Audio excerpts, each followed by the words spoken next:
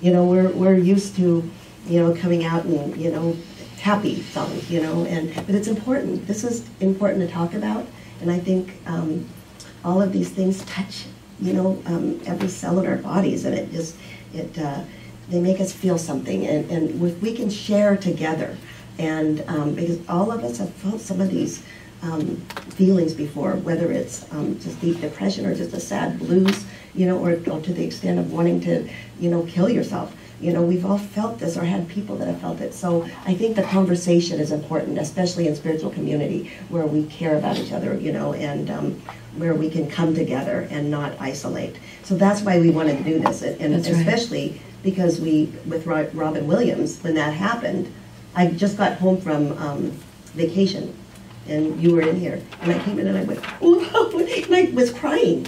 And I, when I, I usually don't cry when that this kind of stuff happens to somebody I don't know. I feel bad and pray, but I just I really felt this sadness.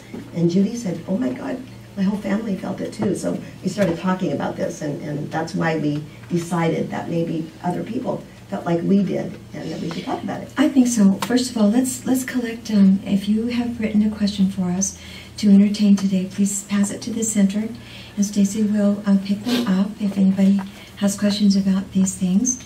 And uh, you know, one of the reasons that we picked uh, that we wanted to talk about this is because this is something that touches all of us, and I think that when uh, you know, I was thinking back about um, Princess Diana and John Lennon and Martin Luther King Yeah.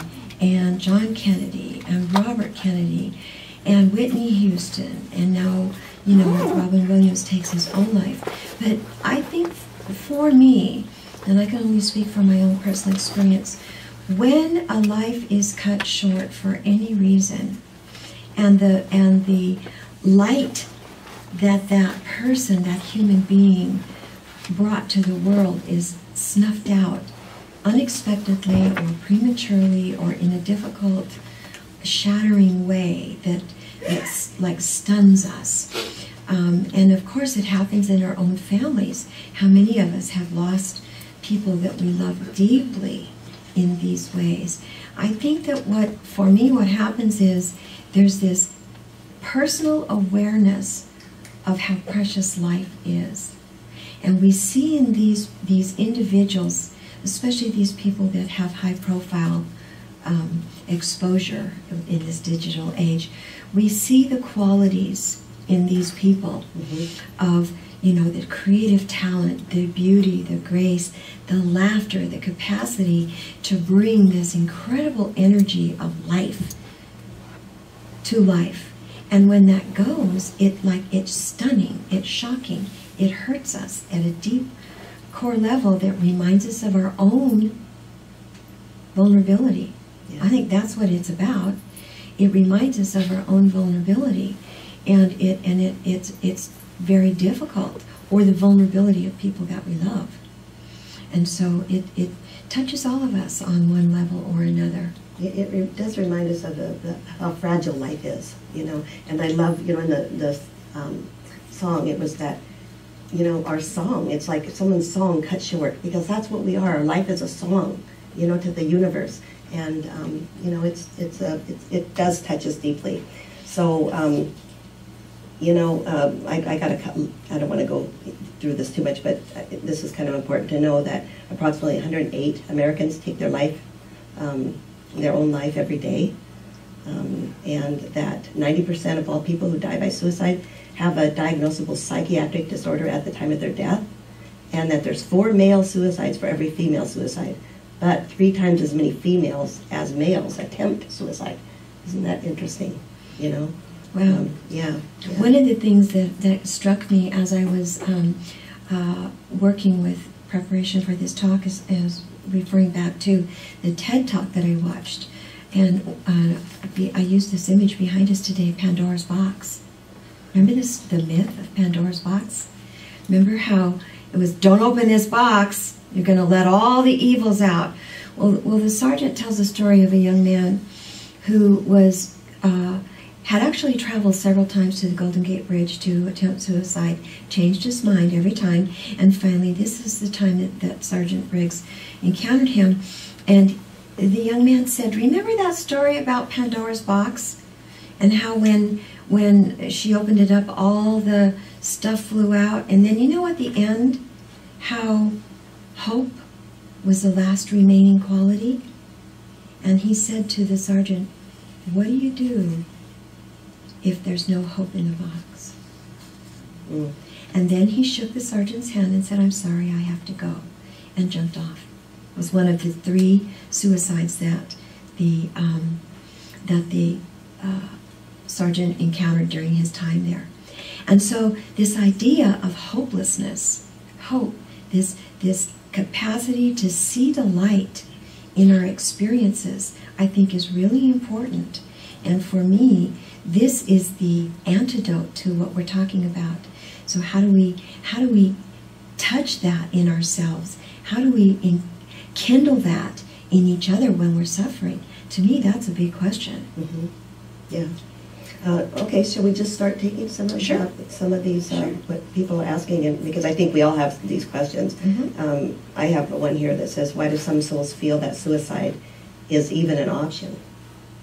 You know, I mean, why do we even think that? And, uh, you know, um, and, and I think because, at least I would say, you know, that that maybe they think the pain will stop. You know, if there's so much pain or so much grayness, you know, they it, it's an emotional that um, time where maybe they just feel it'll stop. Uh, and will it stop? I don't. You know, I mean, I don't know. That's another question. You know, another question we can ask. Does it? You know, and I we were talking about that ourselves. Does the pain that you're feeling really stop? And I think Judy, you you said something that I thought was interesting. That we are, we just are, and we go on. So why do we think that that, that necessarily will happen? Yeah, well, the thing is, we, we were doing some research, and Glenda uh, brought to mind the, the Hamlet reading, to be or not to be. Well, in my way of thinking, there's no way not to be. See, we are. We are that spark of the divine, no matter how it shows up. We're it, right? Whether we are, whether we're in this body or not, we are. If we believe what we say, that we are a spark of, of the divinity that, that God is, this vibration of the universe, we're just, you know, sort of manifested right now in this particular form. So the idea of thinking that um, it's over when it's when we choose, well, I'm done. When, our bodies I'm done. I'm getting off this. I'm getting off this this wheel. Um, I, I don't think you can because we are. Now, this is where I probably differ from a lot of people, and this is the great grace of this community because we don't have to believe anything, right? I don't know what happens next. I don't know if pain ends or continues. I don't know what it looks like. That's my thing. Many traditions will tell us what it looks like. Many traditions will tell us what the next thing looks like. I personally don't know. All I know is that I'm that, I am that, I'm always that, whether I'm in a body or not, I'm going to be that. And so this, it, my choice to end my human life is a tragedy because I have my, light, my light needs to be here. If, if the world doesn't have me, there's an essential piece missing. Same with all of us. If, if your unique self, who you are, your vibration is not here, something's missing. The tapestry of life is not ever going to be the same. You are, in your humanity, hugely important. See, I think what I think is that we're here to experience life, no matter what. Everything comes to us, and the pain and the joys, and you know, we talk about this every Sunday. That life just comes, and um, sometimes it's happy, and sometimes it's sad. And ours is to be able to be with it all. You know, be with every bit of it. And if we end it, we continue that. You know, because it's lessons. So the next, there's more lessons. And I think you know the film we show kind of shows that a little bit. I remember with um, my mom and dad always battled. You know, they were battled back and forth. They just bickered for 50 years and got divorced and still bickered. You know, for another another till they died. And um, I remember after dad died, mom was still angry, kind of bitter, you know, about things and stuff. And um, I remember saying to her, "Mom, you know what? You know, you there's not much time left. Dad's gone, you know, and you're old. you know, well, I didn't say it that way. I didn't say you're old, but you know, she knew what I meant. And, and the truth is, is that you've got to come to terms with this feeling that you have about dad because you know what? Things are going to be the same. You know, they, you're over there. The next side, you're going to be dealing with it maybe in a different person or whatever, but until you come to peace. And I really do believe that, that whatever comes in our life, the pain that we're all dealing with, that we have to come, have to um, face it and feel it and then let it move, move us into spiritual transformation because that's what pain is about. It's about spiritual transformation. Everything we experience. And, and you know, deep depression is, is a big one. It is a big one, and sometimes I think it's important for us to indicate that, like uh, your statistics indicated, sometimes, you know, we are bodies, we're humanity, we are these biochemical, physiological things that um, sometimes don't uh, hold together quite well, that, that have imbalances, and sometimes these, you know, clinical depression or whatever goes on here, these are real things that, that happen to our physical selves. So we have to deal with that. So there, there's that aspect. There's also that aspect of just depression or, or situational things that happen. And I want to share a little bit because I've been to this place and I'm still here, which is good for me because I'm glad I'm still here. But I, I want to share a little Good bit because. I want to share a little bit about this because um, I know a lot of your stories, and I know that sometimes we get to that place where we think life is just too hard, where it just we can't see the light beyond the circumstance that we're in. Does anybody, you know, I don't need any nods of heads because I, this is a delicate thing, and you may not be willing to be as transparent as I'm going to be. Many years ago, so now it's been like 27 years ago, um, I was in a very unbelievably difficult work situation. Um, it, it was a situation that involved rape. It was a situation that involved shame and guilt and um, a fear. It was a mess. It was just a mess. And I quit drinking. Prior to that, I was drinking, pounding down, you know, coming home, not even using a bottle at the end. 28 years ago. A glass. I mean, a glass, and just figuring the, whipping out the Stolichnaya right out of the freezer, right? Because that was the way I was dealing with this pain, right? I was in such a situation that was, it just looked so dark to me, I could not see. So I quit drinking. Oh, brother, that year, that year that I wasn't drinking and was in that situation, that was so difficult, so horrible, pushed me to the brink of thinking, well, I just, I'm going to end this. I'm done. I don't see a way out of this. I'm hopeless. I can't tell anybody about this. This is a big, uh, this is, it's horrible. It's, I didn't tell a soul. Didn't tell a soul. Think about that. Didn't tell a soul. That's where we get with these things, right? Didn't tell anybody. And I really seriously was at that place, that, that choice point. And my daughter said, Guess what? We're going to have a baby in our family. Hope was still in the box. Hope was still in the box. And I thought, hmm, maybe I don't have to end my life right now. Maybe there's a way around this. Still didn't tell anybody. Still didn't work through the problem. Still had the same situation. But I came away from that, that edge of the Golden Gate Bridge and I didn't jump. And I stayed in that situation and it remained the same, but I wasn't ready to kill myself. And the turning point, the turning point came when I met a person, happened to be an attorney, this became a legal matter, who listened. I felt safe. I could tell the story to a real neutral person. I felt safe, and guess what? It all shifted, and that was the beginning of my personal spiritual journey, I think, that just brought me into this deep reverence for life, this deep understanding of the pain and suffering that we all go through. We all go through it. And it's given me a new perspective of what this journey, this human journey, is about. So I, I get that we can be pushed to the edge of pain and suffering and want to make that leap. I get how that is.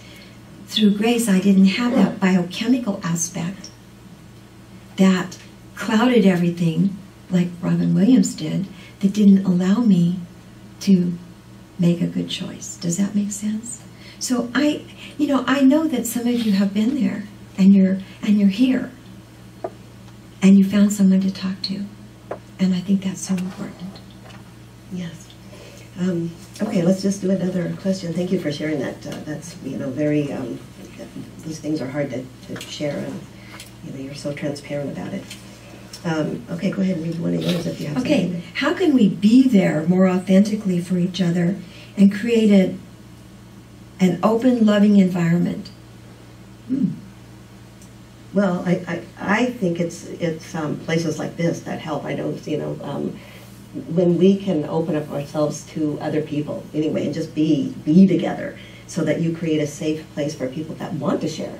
You know, I mean, and it takes courage. You know, it takes courage to come here. I think um, when you don't know anybody and to come and sit and to really reach out and you know you don't know if you're going to be. You, hopefully, people will be kind and but you don't. You're not sure. But I think it takes each of us to reach out to the people that are new, right? And to just open your heart to somebody that might be sitting, you know, at a bus stop, you know, wherever you are. Open your heart to other people. You know, um, I don't know. I, what, what, do you, what would you say? Well, I think part of it is as as a being, and that's all I can do is take care of, of how I show up and, and t- try to demonstrate um, for myself and for people that come in my energy field what it what it could look like. For me, it's about non-judgment. It's about being accepting. It's about not, you know, um, not blaming, not shaming, not making people feel guilty.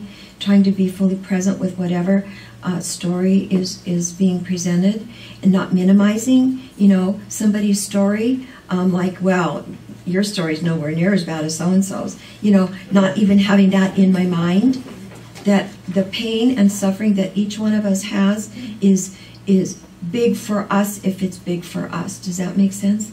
And so I think that the capacity to simply be present with each other in a very willing way to not you know and and I have to admit there may be something inside of us that gets triggered if we hear a story that is over the, you know really hits us where we're vulnerable Mm-hmm. but to be able to be present enough to know that about ourselves and then create that loving open accepting environment that lets the person be who they need to be and not probably a lot of it is similar to what my experience was you're afraid to tell anybody you're afraid someone will judge you you're afraid that somebody um, you know nobody will understand So let me ask you, would it have been different then if some, what could what if you're feeling that way? What could have somebody done? A family member um, or a um, friend? You know, what, you know, to open you at that time is you know is there anything? I guess is what I'm asking um, because that's a hard that's really hard when you're so closed and, and how do you open up your heart? You know, and, and I guess it's just you know everybody's different. You know, and who knows?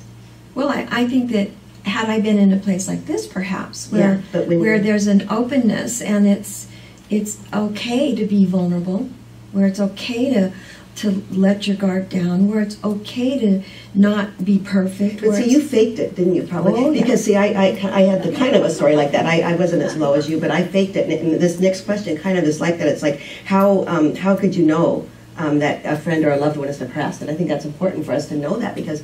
Um, you know, I put on a face too, um, you know, for a long time where, you know, happy, you know, and inside I can remember, um, and it says here, what are the signs? And one of the signs was, uh, for me, was this like total gray. That's how, the only way I can describe this is that it's a heavy gray feeling. And I can remember walking to the, um, pushing the grocery cart, right?